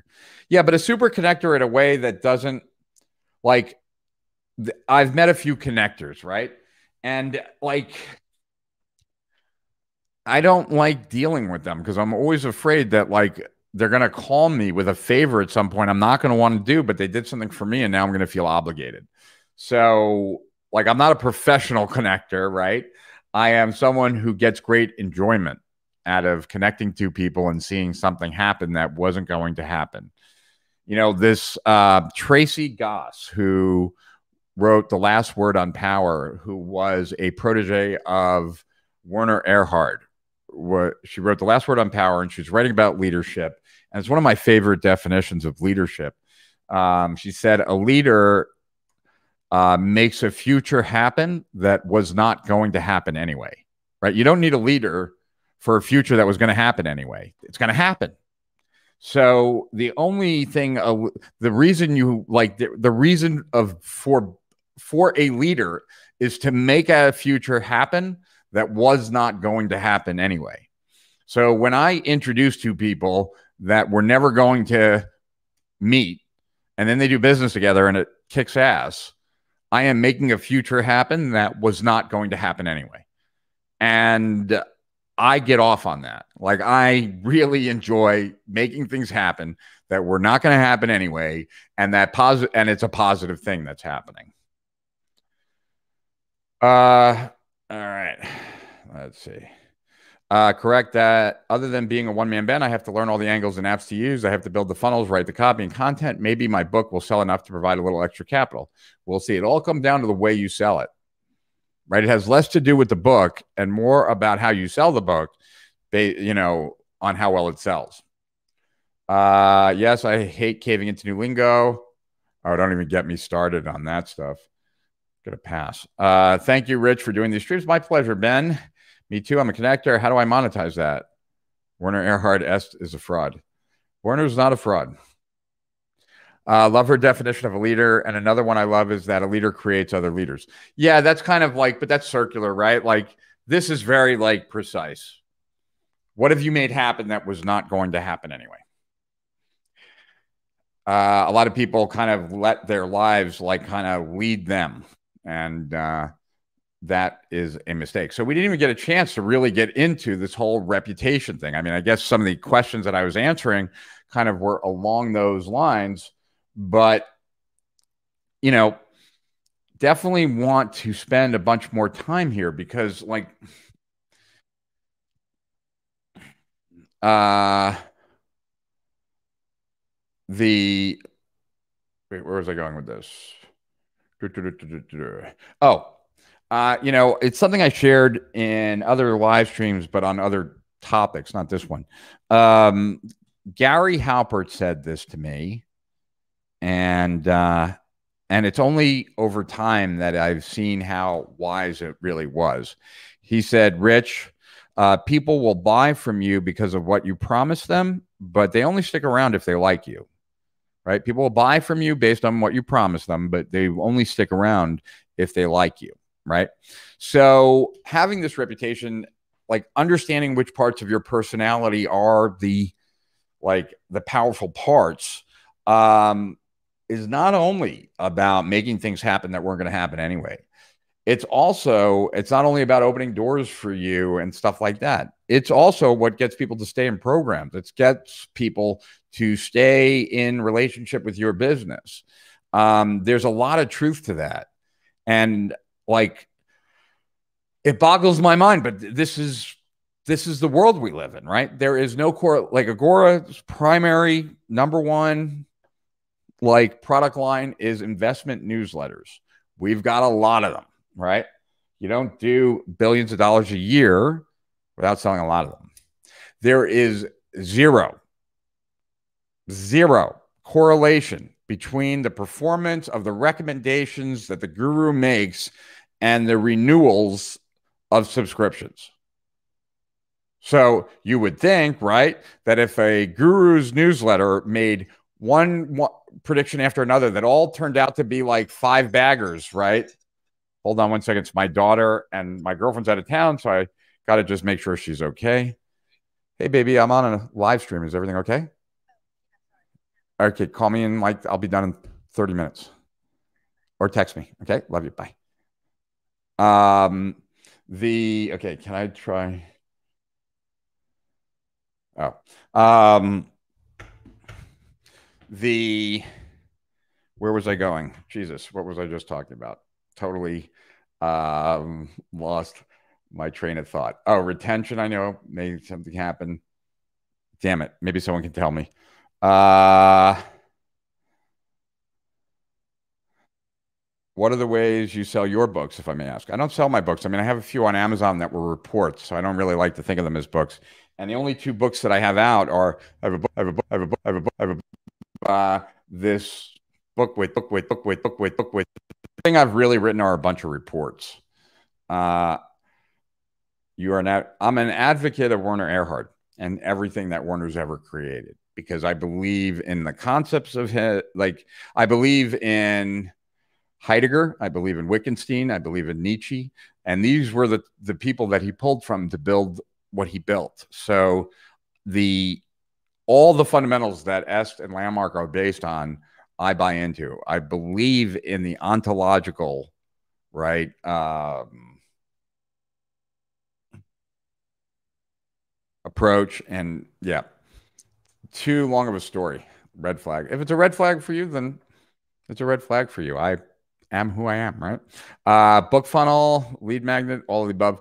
Book funnel. If you happen to be a member of Steal Our Winners, Craig, uh, Russell Brunson went over the single best funnel that he's ever created. That is a book funnel that he spends over a million dollars a month on, cash flow positive, that has been more responsible for growing ClickFunnels than any other funnel. Um, he goes over that in Steal Our Winners. And uh, if you don't have access to that, then I would say go to ClickFunnels, find a book funnel on that site of Russell's and copy that. But you want, yeah, you want a book funnel. I don't know if you can do free plus shipping and handling on Facebook anymore. They sometimes want you to now make the book paid and do free shipping and handling, which is nowhere near as good from a marketing angle. But uh, yeah, people who have book funnels swear by them. Uh, hi, Rich. I joined Steal Our Winners Life membership. Thanks for being my mentor. Well, thank you, Sarah. And I look forward to talking to you in person during one of the coaching calls that you avail yourself to and about people liking you. I don't know. No, you said it's a red flag. So if it's a red flag, like run away from me, red flag, then do so. People buy from you from what you promise, but they stick around because they like you. Exactly. And what you're selling is essential, important. Well, I'd like to believe so. Now, that is Scientology that does that. Est no longer exists. Uh, just saw a dent in the universe on Amazon. Would it be possible for you guys to upload it to SOW? It should be in SOW. Yeah, don't buy it. Don't buy it. We should. We have to figure out a place for those. So yes. Any advice on a launch? Tons of advice for a launch, David. But you're joining us a little late, and I have no idea what you want to launch. But um, if you join me next Tuesday, right? It's Thursday. Yeah. If you join me on Tuesday and ask me that question and to help me kind of launch and what advice you're looking for, I'd be glad to help you. Tell me about Steal Our Winners. Uh, best thing I can say is is that it's strategies and tactics that are currently crushing it that the world doesn't know about. We give you the strategies and tactics that won't appear in a course for quite a period of time when they're most effective, where you have to do the least to make the most um, and we have over 100 contributors. And that contributor list is always growing as I'm always keeping my eyes out for other people that are at the edge. And um, yeah, that's kind of it. But if you want, Craig, what I really would suggest is join our Facebook group. It's completely free. It's called Strategic Profits. In there, you'll see some of my free reports. And uh, from there, you can find out more about Our Winners and everything else how to deal with ADD and doing business. I'm all over the place. Um, always use a timer. Got to always use a timer, Hamza. And you you stick to that one thing while you're using that timer. The other thing is uh, break your projects up into many mini projects. This way, you have the fun of jumping from thing to thing, but you're still moving the overall goal forward. In other words, you get the feeling of multitasking, but you're still single tasking. And uh, like, I think uh, those are some of the easy ones. Um, meditation certainly helps. It's an issue with concentration, but you know, I wouldn't trade my ADD for anything. Like the ability to hyper focus is one of my. It's like one of the most important things that have gotten me to where I am. Uh, thanks for my pleasure, man. Uh, hidden obstacles was great report. Thanks, Craig. I just discovered you. You are great. Read your manifesto. Oh, wow. Cool. You know, it was written 15 years ago, just to let you know. Uh, anyway, all right. So let me play like just a few minutes of what I was planning on playing the whole time, and then we'll see if it's even worth uh, revisiting. So uh, let's say we'll play this for like five or 10 minutes. Then I'll turn this off. We'll talk a little bit more for a few minutes, and then we'll call it a night. So let's do it. Welcome to the Expert Guru series. Throughout this series, I'll be sharing with you my secrets for massive market influence so that you ultimately get paid for who you are rather than simply what you do. In other words, that your reputation precedes you and causes you to earn more simply because of who you are, as opposed to the vast majority that only get paid for their output, what they do. Now, this series is going to contain four modules. Module one is where I'm going to talk to you about developing the mindset of a guru so that you can start actually thinking like a guru and therefore start becoming a guru. In module two, I'm going to walk you through the steps to carve out your niche in your specific market so that you can become the leading authority, the chief influencer in your field. In Module 3, I'm going to show you how to develop your voice as a guru in your speaking, in your writing, on video, in audio, in every format that you choose to communicate with your audience. I will show you how to cultivate that voice that will give others confidence in following your advice and buying and paying for your services. And in Module 4, we're going to take everything that we cover and we're going to transform it into your very own action plan to take you to the very top of your market in the shortest amount of time with the highest degree of certainty. So we've got a lot to cover. So let's dive in.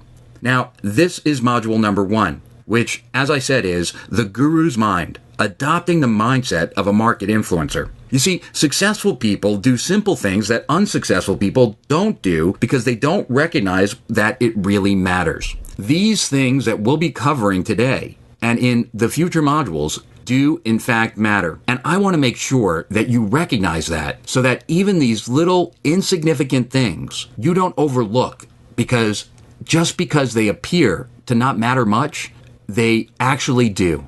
And they matter more than you could realize right now. But that's why you're listening to this. That's why you're watching this so that you can understand what are these little things that matter the most. Now, along those lines, my goal for you in this module is to really get you to think like a guru so that by the time we're through with this, you will understand exactly how a guru thinks, what a guru does, and how a guru uses their own insights to give themselves a competitive advantage in their market.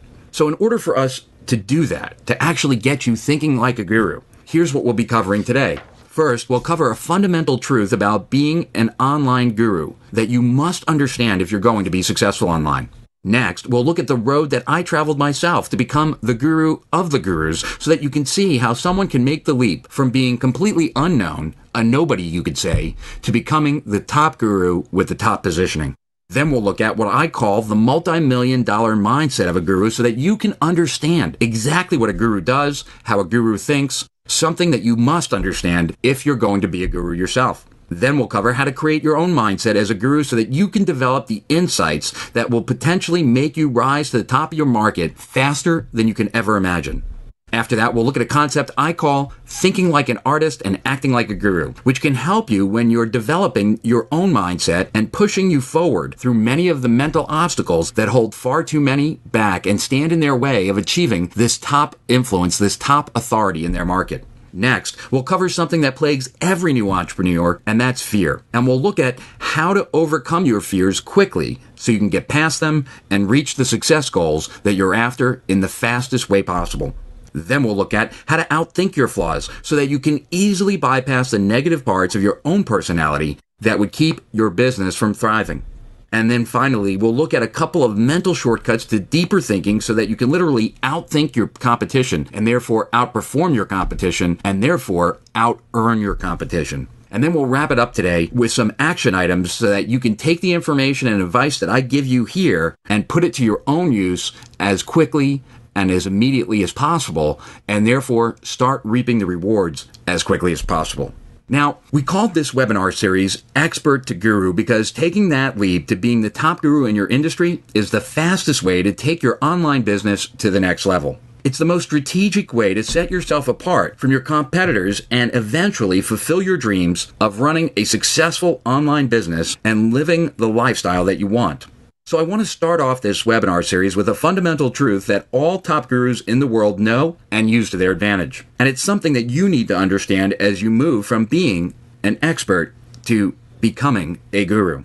You see, if you're going to rise to the top of your industry and truly influence your market, you're going to need more than just being a successful entrepreneur. You're going to need to be more than just a run of the mill expert. You see, you need to set yourself up as a guru. And a guru is much more than just an expert. You see, an expert is simply knowledgeable about a particular topic, but a guru has the expertise and is also recognized as the leading authority in their field. So they have the ability to influence their market. So, therefore, you can see that expertise alone never makes a guru. And many people assume that if they just simply learn enough, they will eventually have the influence in their market. But life doesn't work that way. In fact, you could study forever. You could learn absolutely everything there is to know about your particular field and still not be recognized by anyone, have no influence, and ultimately be a nobody in your market. The reason is no one else knows that you have your insights, that you have your expertise in your particular field unless you make everyone aware of it, unless you broadcast that fact, and that's where marketing comes in. You see, the fundamental truth is this. In addition to expertise, any recognized guru in their field, in their industry, in their market knows how to market themselves as an authority, knows how to market themselves as a guru, a maven. You see, they have learned to think of themselves as a guru and then been able to communicate that idea to their marketplace. You see, it wasn't some lucky or fortunate experience that ever leads anyone to being a guru. They marketed their way to where they are today. And that's good news for you because you don't want to follow in the footsteps of someone who just happened to get there by accident. You don't want to mimic an accident.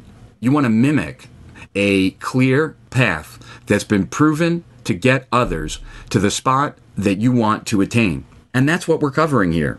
You want to follow a strategic approach that gets you to the very top of your market. Let me give you some examples. Dan Kennedy for example, is probably not the best copywriter in the world, but he's an exceptional marketer.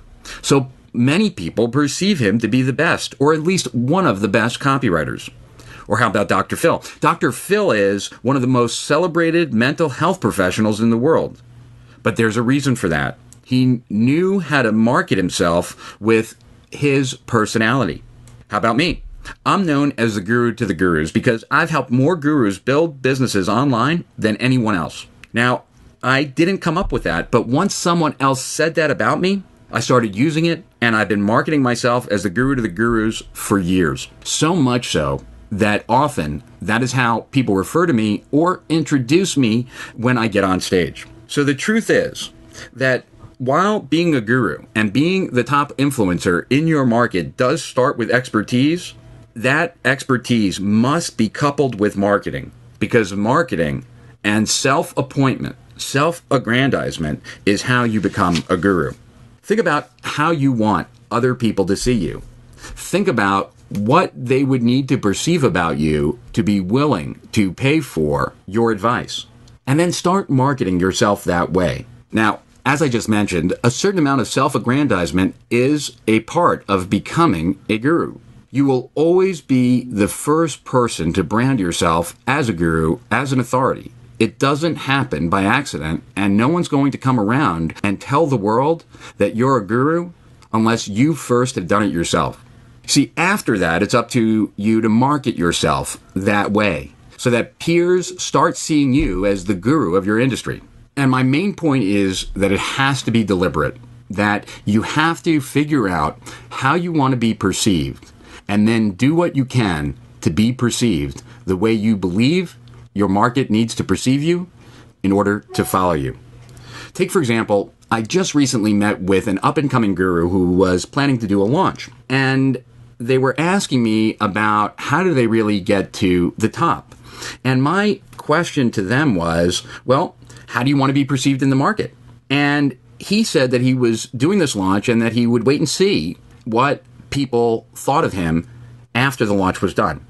And my response was is that that's completely backwards. That you want to start figuring out how you want to be perceived before you do your launch. Then, when you do your launch, you put a paragraph of copy that defines your positioning in all the swipe files that you create for your affiliates. This way, the entire internet is being alerted of your positioning with each and every email that gets put out.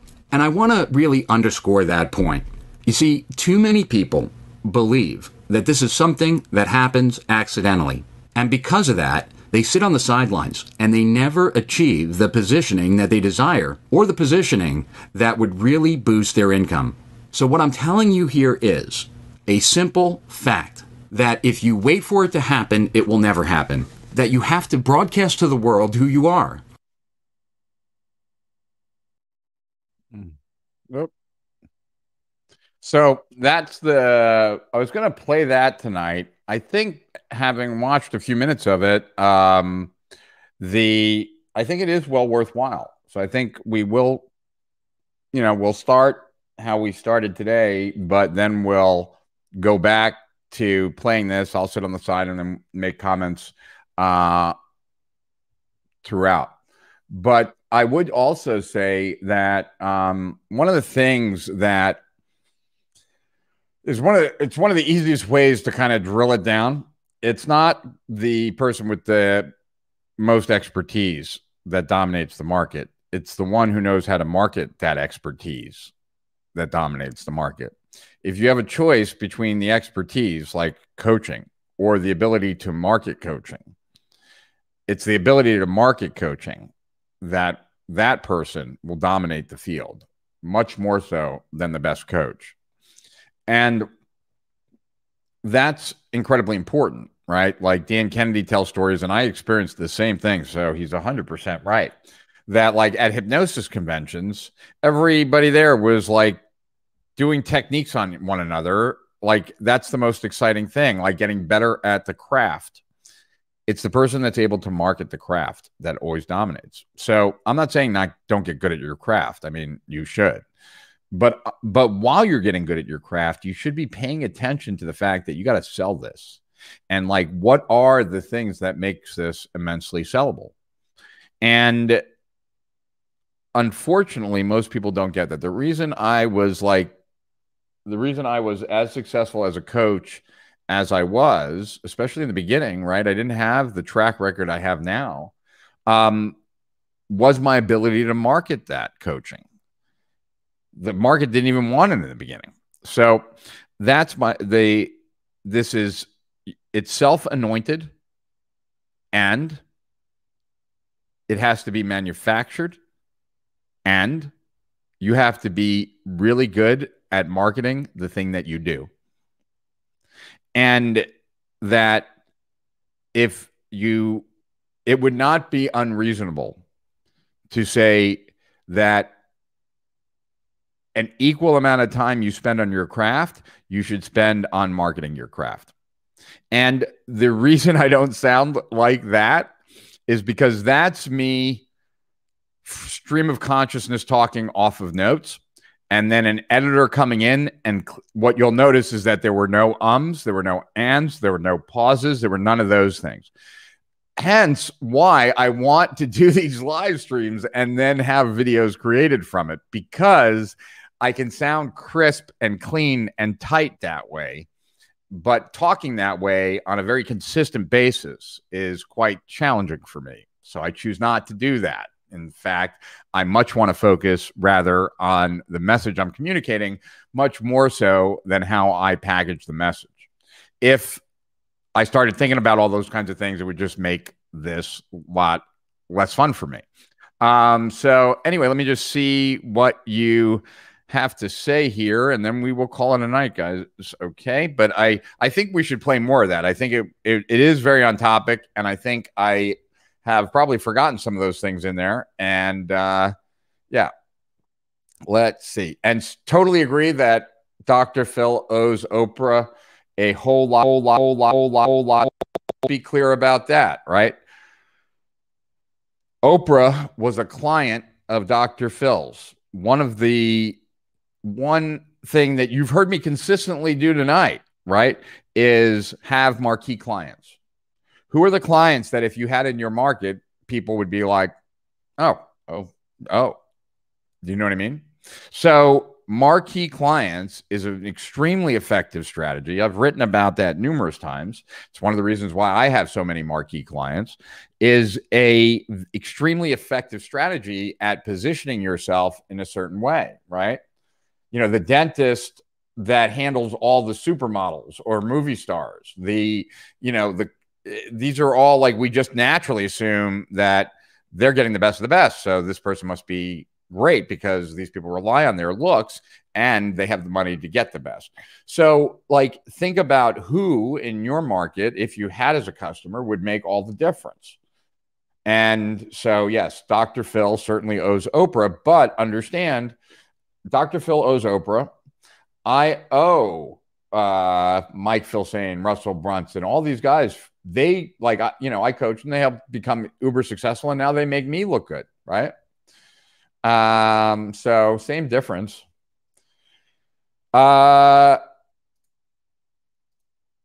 is there a difference between the word maven and guru? Yeah, guru is more like a source of knowledge. Maven is more like a connector, but they go, but they're synonymous in certain ways. But like that's the real difference. A maven is someone you go to, like you know, like I don't have to be a guru to do steal our winners, but I do have to be a maven. I have to be connected to everyone, right? What maybe helps me answer ask better questions of those of the gurus that I'm uh, I'm talking to is that the fact that I'm a guru as well with experience in the field. But all I would really need to be is a maven to do steal our winners and conduct those interviews because that is the person that knows what's going on in that neighborhood, in that niche. A swipe file is a file full of other people's promotions that were effective that you can use as templates, as outlines, as sources of inspiration, etc. Uh, mastering yourself is key. No one else thinks you're a guru unless you believe in it first. Yeah, and you present yourself that way. Um, cool. I'm out there on LI and FB and Quora every day giving thoughtful advice, sometimes so tongue in cheek humor. Cool. Um, all right. right. Uh, yes, play more. Cool. I will. Thank you so much, Rich. That was super valuable. Cool. Then I will definitely play more. Uh, I just got, I got SOW yet. Haven't started on it. My glass is overflowing. We'll stop buying stuff for a little while then and start consuming. Uh, and recognize that one of the benefits of if you approach our winners the right way, Jonathan, you get you'll get a tremendous amount out of it. So here's the right way to approach it. Um, go. You should go in knowing what it is you're looking for. Now, what you could that you can be as precise or general as need be. The more precise, the better, right? Like I'm looking for a way to better manage my Facebook ads. Okay make my ads more, you know, have my ads better performance. Like that might be that's something more specific. Uh, or it might be I'm looking for uh, ideas on how to sell this book. And then based on whatever your level of membership, I would look at the issues and then what's in each issue and what applies to you or not. The next platform, you won't have to do any of that it'll make it very relevant and easy for you to find. But right now, like you have to go in and then take those and watch, read. So now you've identified the few that matter to you. Then read the one page summary with the action guide and see if it really is applicable to you or not. So you'll then reduce it down to fewer. And then from those, right, either watch all of them and decide, or you can just decide from looking at the strategy documents. Um, the next go in this next release, there will also be time to complete and potential upside. So you'll also have that. But the but the the whole idea is that right now, if you're going through courses, unless you're trying to get a lay of the land, which is useful, courses like to give you that overall, because what we're going to do in Our Winners is we're going to give you the best tactics that don't exist in courses today that you will find in courses in a few years from now, buried around a lot of conceptual stuff. So if you are overwhelmed and frustrated, right? Well, part of that overwhelm is that you feel like you have a lot to consume. You're frustrated because you're not getting the results you want. What Steal Our Winners provides you is a lot less to consume. One, because you can choose what to consume. And two, because we're only teaching you the tactic and strategy. We're not filling it with anything else. And we're giving it to you when it's not in a course, when it's easiest to get the biggest result. So you spend a lot less time, you get exactly what you need, and then you put that into action, and you will no longer be overwhelmed and frustrated. So it's not a question of whether you've gotten around to it yet. It's the most important thing once you know what it is you want to do, right? Steal Our Winners is not the place that you figure out like your niche or like the type of business you want, right? You can't be everything to everybody. What we provide are the best tactics that are currently crushing it that the world knows nothing about. Period. That's it. That's like what we do. Uh, da, da, da, uh, thanks as usual, Rich. You're truly bringing strategic profits and your mission to life, making a real difference in the world. Thank you so much. My pleasure, Renan, and thank you for saying that. Uh, oh, I hope uh, it was not a serious emergency, Dr. Vogelman. Yeah, Oprah does get mad if she, you say she's your customer. Shared four times earlier. Chris, you are the man. I've got no traction on my marketing Maven tips Facebook page. May many a file cabinet for stuff I find. All right. Uh, I am a real guru in my industry, but I don't know how to self anoint manufacture and marketing myself. Hence, I need help. Well, Sarah, then um, you should read the Maven Matrix Manifesto, which you can find online absolutely free. Um, just type it in and do a search. I'm sure there are people giving it away. There are ones that there are ones that only have Jay's name on it, but it's the same one. You just had someone else, uh, even though I wrote it. Um, but anyway, um, we collaborated when we talked about it. The but yeah, so I would read that first. Um, that'll give you a really good overview and some simple steps that you can take that will make a difference. It, believe it or not, like for years they used just that in Agora to position gurus. So it's more than enough.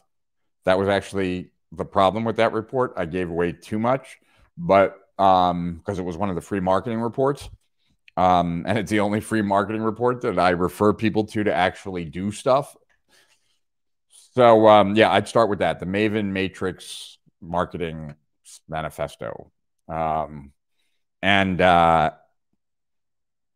because there are certain ingredients you need, Sarah, and and, and I, I walk you through that in that report. Got it. Thank you. All right, guys. Cool. We are six minutes late, so we'll end here. Um, and I want to say thank you to each and every one of you for being here for commenting, for for sharing if you shared, for subscribing if you subscribed, and uh, you know there are many places you could be. Look, you decided to be here. I don't take that for granted, and I appreciate that. I appreciate that for what it does for me, and I appreciate that about what it says about you.